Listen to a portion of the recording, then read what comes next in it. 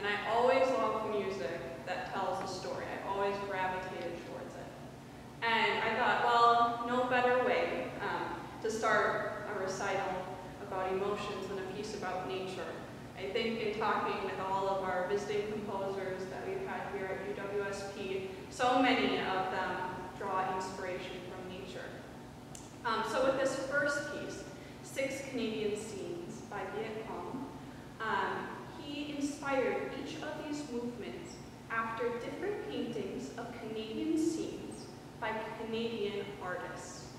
Um, so if you're watching online, um, in an earlier post I made, there are pictures of those paintings. Um, and for people in the crowd, they were over by the door.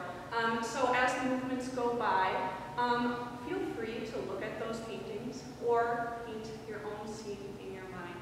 Um, have that creativity with it. I hope you enjoy.